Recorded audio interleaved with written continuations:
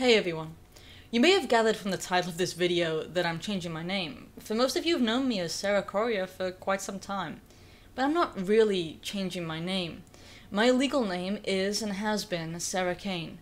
It's on my birth certificate, but at the bottom, I was actually born Elizabeth Adele Cain, and then my name was changed apparently about seven months later because my parents, who were already separated, were busy bickering about me and my name. When I once told you that I was an expert in broken homes, yeah, I wasn't kidding, and honestly, you have no idea.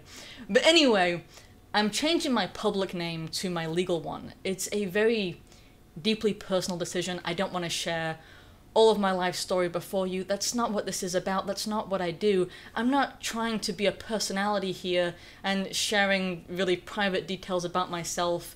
Uh, what I'm trying to do here with the videos that I release um, they're about the messages that I send, the values that I'm trying to put forth, not about me. I, I don't want to be that. I just want to speak honest messages in a world that seems so unbelievably grounded upon lies. I hope that the work that I do is of value to you. I will say, I neither got married nor divorced. Um, it's, it's way more complicated than that. That's not what this is.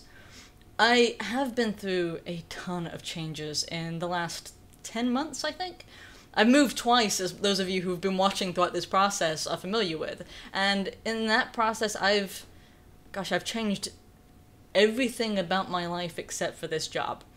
There have been some really good people who I've had the pleasure of meeting and having walk with me along this path. You know who you are, and it seems like I ought to take this opportunity to at least say thank you. So, so really, I couldn't have done it alone. Thank you truly.